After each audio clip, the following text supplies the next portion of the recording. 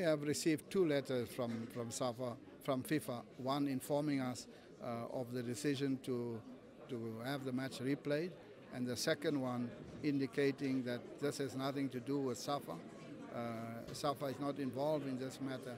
It's a matter between FIFA and the referee.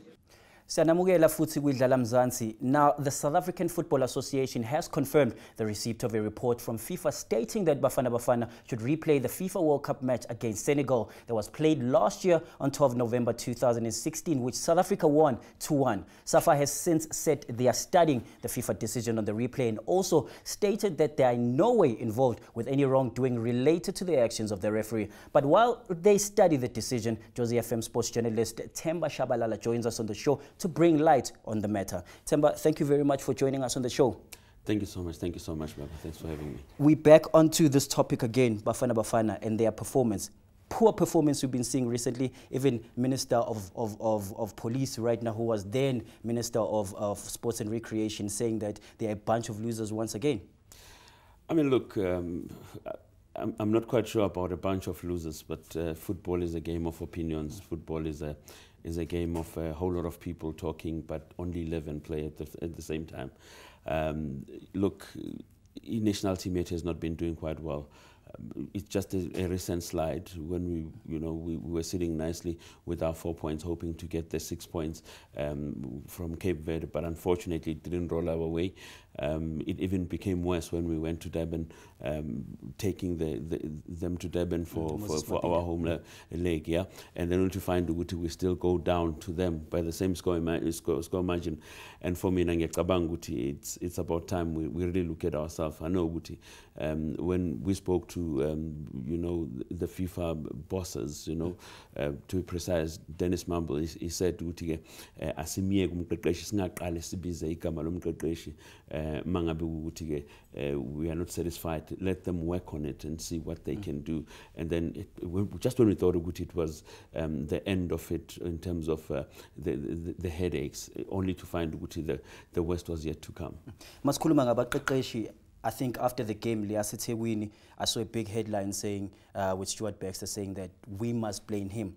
Kuzofika nini la esiqala khona holding the players accountable as, as opposed to njalo siya coach Look, it's, it's a national phenomenon. Uh, within the whole country. Uh, even now, PSL, we always blame the coach and not the players. Uh, you know, the sad part is that the players get the glory when they win. The coach is nowhere to be seen. But if the team loses with the very same players, the coach takes the blame. I'm not a coach. I don't aspire to be one. I don't aspire to be one. But I just think it's about time we look at the personnel that is playing on the field quickly, you can look at um, uBenni McCarthy, the, the, the, Cape Town City coach. He did make it clear to the players that he's not going to be there to shield the blame for players. If you don't perform, you sit on the stand. That's it. But then again, the coaches need our support as the fans, as the football followers, and the football lovers, so that they know that they're not out there in the cold all by themselves. Mm. Another thing coming our way, which seems like a stumbling block for, for the South African team as well, is this FIFA decision for Uguti Bafana Bafana play, replay the match against Senegal that we played last year. And we won that match 2-1. Um, coming to this decision now, it feels like it comes at the wrong time. It feels like um, a dog is beaten down and just becoming worse for you, Bafana Bafana. I've got a different view. Um, you know, if you can look at that match, you can ask a lot of questions to FIFA. Why wait so long? Mm. Um, were they going to take the same route had Senegal been running um, with all their points, having won all their matches, except for that one that they lost to us. You know, I stand to be corrected, but somewhere, somehow, I think it was a hidden result somewhere that where they said, let's see how South Africa does. But should Senegal not um, get the desired result from their side on the other matches, then we go back and review that, that, that, that uh, decision. But then again, the very same FIFA that advocate for, for fair play, in this case, I can't say to you, Vuyo, you did not have nothing to do with the disappearance of this sport that you're carrying.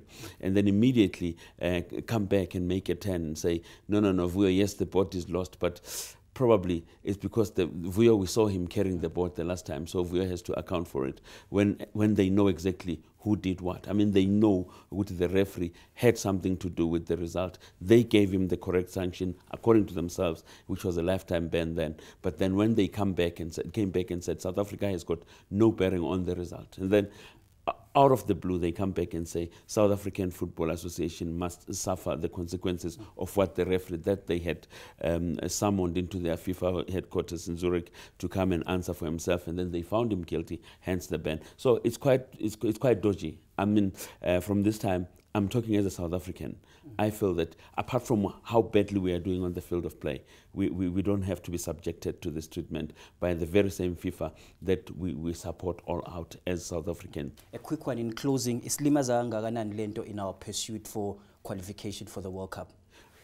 Because we're still within the, the, the, the period where Safa said to Jordaan, uh, when we spoke to him, he said uh, they, they'll have to go. Uh, then even the very same uNorman Arendse has compiled the reports, who is their, their legal representative as Safa. I think it, apart from the legal stuff that happens on the field of play, we are back to one point and look at how, how bad we are now. We are sitting right at the bottom of the group. Um, forgetting good, we, we, we, didn't win against Cape Verde, but we should be sitting right pretty at the top and enjoying all what is happening on the field of play. Football becomes ugly when it has to be won in the court or points have to be retrieved from the boardrooms and stuff like that. I don't believe in that. I believe that Ipola finally win on the field of play and then players have to give it their all. In one word, are we, are we going to qualify? No. Themba, thank you very much for taking time to join us on the show. All the best in the year. I know Jozi FM has been nominated as well in the Gauteng Sports Awards as is Community Media of the Year. Mm -hmm. Community Media of the Year. Let's continue telling those stories that touch our communities. I'm sure you know why we've been nominated. we are out there flying the flag. Jozi FM sports journalist Themba Tshabalala. After the break, Umalwandle visits the iVillage for a gaming session. The concept is called e-gaming. Ungaindao.